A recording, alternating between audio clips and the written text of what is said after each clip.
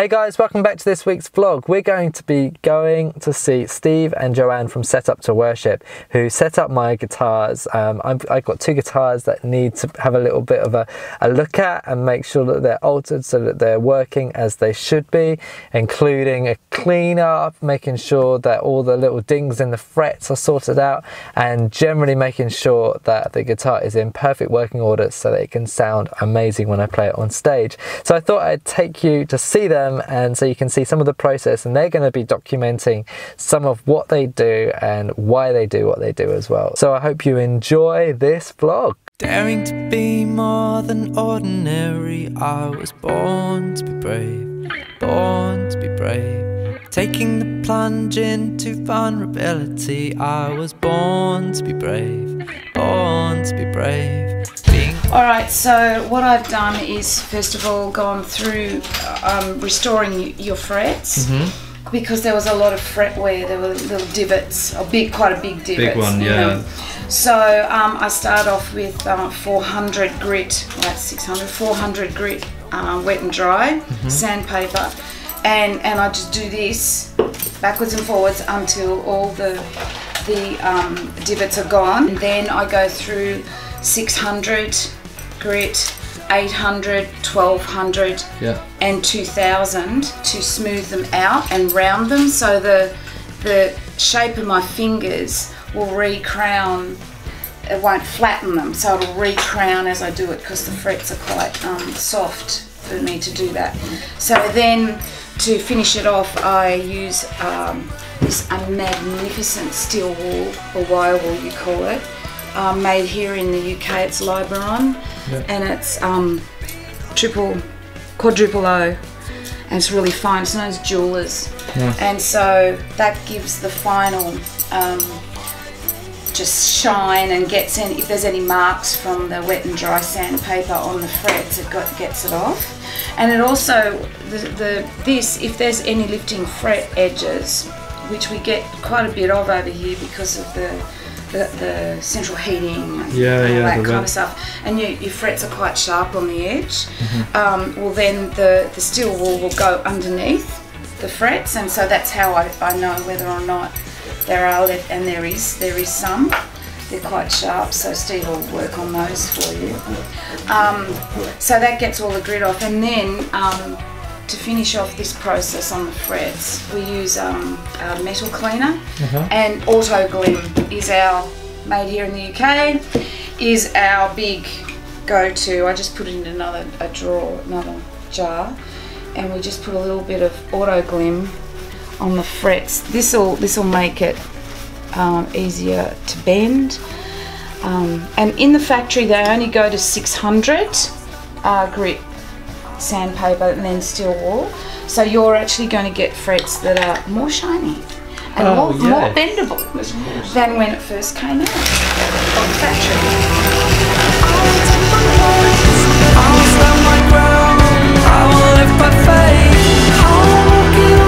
And uh, so then to get the um, the the metal cleaner off, we just use lighter fluid, yep. which is called Shellite here, over here. There's the metal cleaner off, and now I'm going to um, put a little bit of this. This is magnificent. It's it's called F1 oil by Music Nomad Care, and we don't use uh, lemon oil because the the acidic base of lemon oil actually is not good for the fingerboard. See the the caramel colours coming out. Mm. Um, you can see it. And the, the lemon oil actually can dehydrate the fingerboard instead of rehydrate it over time. Then I massage this in, and this is where the prayer Thank you, Lord. Mm. Thank you, Jesus. Thank you, Lord, that this wood was created by you.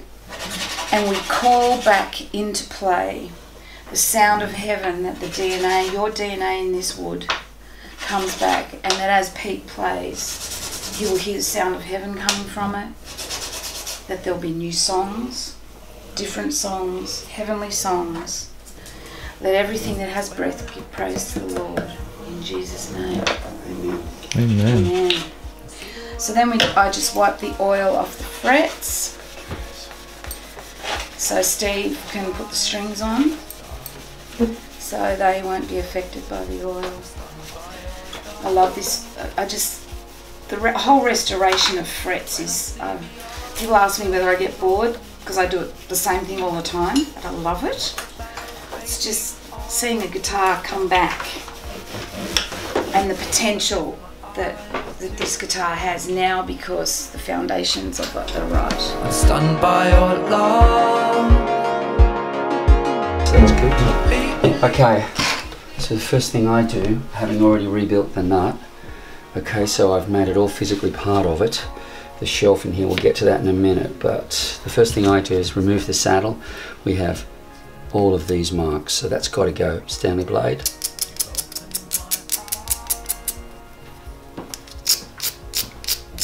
This is just a resin. It's called Tusk TUSQ. It's resin um, and it, it, as you can see it abrades very easily. So over the course of time you end up with deep gouges in your saddle. And um, you must have the strings sit at one point very proudly in order to maintain your intonation. So bellying are all choking devices. They're shutting the guitar down rather than releasing the sound which is what we've got to do. It's, this is a stretched membrane. It's a, it's a it's a soundboard, so we want to get it to move, get it more out of the valve. So everywhere the string touches must be restored to one common point. And of course, yes, this is, it's not taking much off, but it's shaving, but it, over time it will lower the saddle and we would replace it. Often with piezo's though, uh, piezo pickups, it's this little device in here. I will often take intentionally a half a mil off the bottom of the saddle below the required action and I will physically glue some rock maple to the bottom. And what this actually does where piezos tend to be very peaky um, and very sort of very peaky uh, as a microphone very toppy and peaky the wood uh, actually believe it or not actually pulls the, the, the, sort of glissy peaky sound off the top end of these um, saddles and bone as well and gives it a more of a, a mid-range or a glowy type tone and, and that is a little bit more gross which allows you to get a lot more volume and you don't have to you don't have to really worry too much about the getting too toppy and brittle. It just seems warmer and richer. Um, in this instance um, the TUSQ saddle itself um, is a dampener. Almost all every time I use bone or there's bone in there I'll often put that shelf wherever there's a piezo and it just really helps calm things down a little bit dynamically. Hmm. Um, without really affecting too much of the acoustic sound. Um, so a lot of people also say to me, you know, if I put a pickup under saddle pickup, is that going to change my guitar sound? Yes, it will, because you're adding another dampening device. So you're adding another piece of interference that prevents the string from passing to the face. Of course. So each of these coupling areas where things are coupled, uh, there's leakage. Is it dramatic? No, it's subtle, but you can't say to somebody, oh, it won't change the sound at all. Yes, it will change the sound. You will lose a little bit of bottom. You definitely will lose a little bit of focus on the top. Mids, not much. Guitars, acoustic guitars are inherently mid-range. So that's that done. Now we're going to clean it up totally so that we have we have it absolutely flat. As I said, Pete, under normal circumstances, if we weren't flying around, and running around, I would hand make you a brand new nut. And that would be my mission. But in this case, we're going to do second best, which will be a lot better than what you've currently got. The more money you spend on a guitar, the more due diligent you must be in maintaining it regularly. At least if you're on the road or you're recording or playing a lot, I would suggest no later than six months. So I always say to clients, onset of winter or early winter, onset of summer or early summer, they're the times you need to bring the guitar to me so I can prepare you for that season and then the transition season to the next. I'm going to put the strings on first to see what nut height we're dealing with before we lock it away. Okay, so at this point, um, I load up the bridge with all the strings first.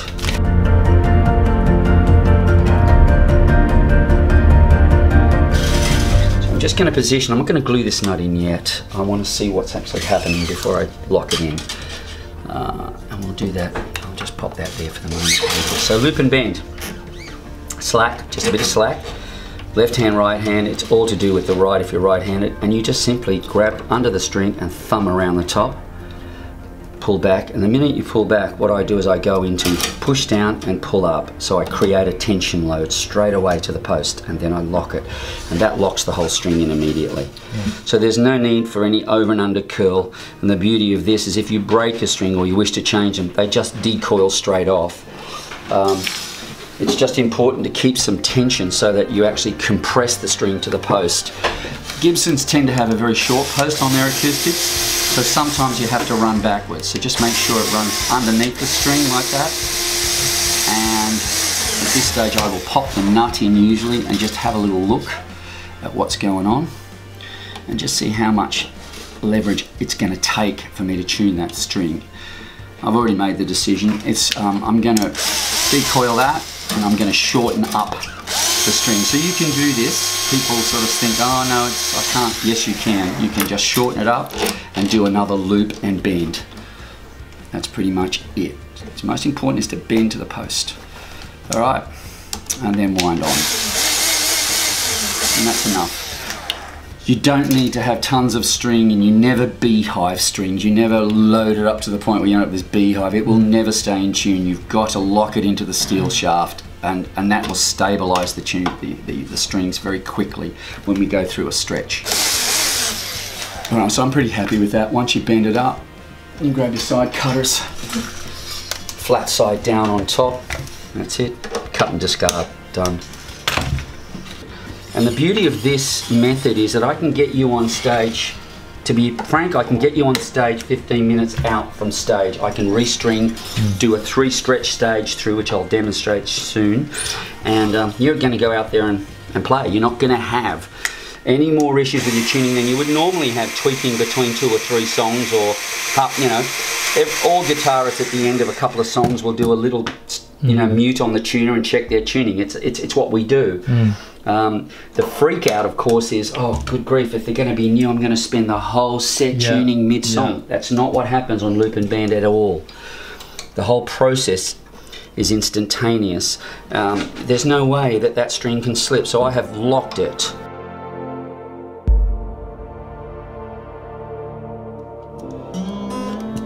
Plug straight into the strobe.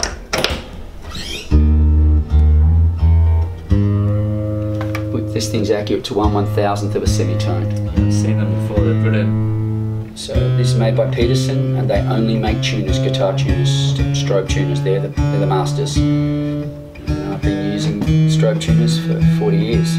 There's nothing better. They're incredibly efficient, very accurate. And this company have developed what we call sweet tunings, which often compensates for the Pythagorean tick. Um, as we know that the, the tempered system has a failing in that it can't be 100% in tune. Well, these guys have developed sweet tunings, which is slightly off, slightly offset, but gives the guitar, when you engage the sweet tunings on them, and there are 50 of them in here, gives the guitar an incredible, an incredible musicality, a much more musical sound. So it's rough, but what we do now is go into play position and literally at the octave I will, I'll sort that out in a minute, I will literally pull at the octave, thumb it up and roll. Do the same, thumb it up and roll. Thumb up, roll, thumb up and roll, right across. Now I will retune. And you can see how much stretch I've pulled out already. And it's really important to, to stretch. You've got to do this, otherwise you will have a nightmare set. Do this three times. Fourth, I do the final tune. So that's once. We go again. Again, thumb up and pull and roll. Thumb up and roll backwards and forwards. It's like a trampolining type of effect, just a bouncing of the string. And that'll bed and lock it in here and lock it in here. So we're now down to just a half tone drop. So we're getting as much of that play stretch out straight away. Yep. Here we go treble strings will be mostly the problem. One more time. One more. One more. That's it.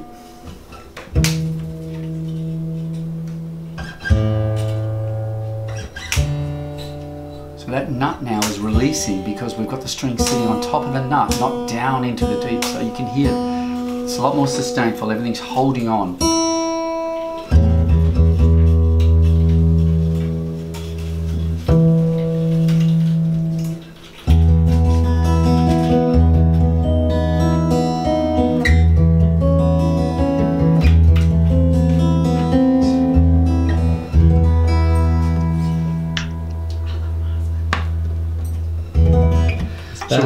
Basically got it in, but now we, we, we go in to do the hard work. We go in and look at all the angles, we look at all the heights, and we see exactly what's going on. But the nut is restored. We've got this these strings now taking off from the leading edge, and, we, and we've got flesh. We can see some flesh, maybe a little bit lower on the B.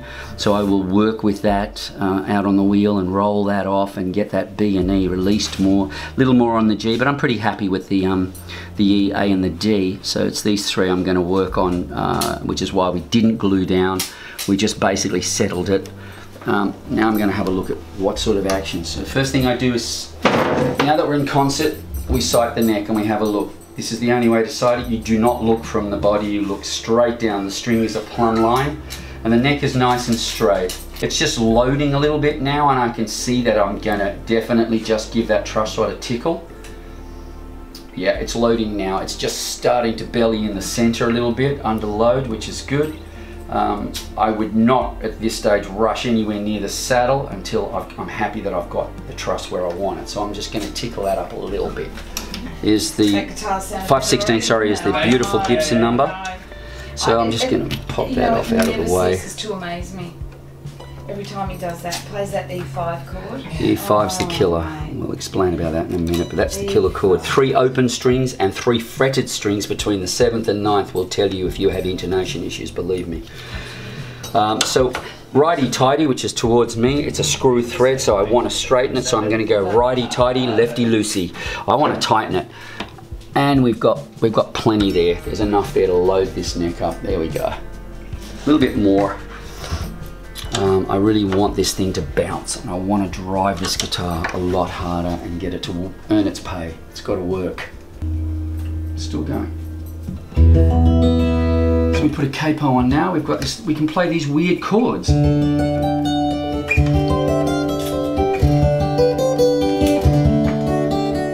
We've got tune, we've got intone, we've got release. The action's gorgeous. You can just get into it now.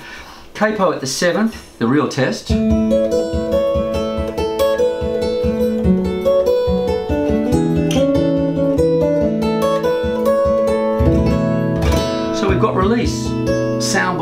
Working, the strings are loaded, everything's translating as it should be. No high or low frets.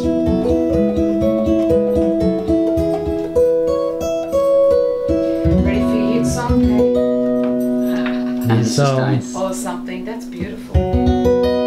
It's beautiful.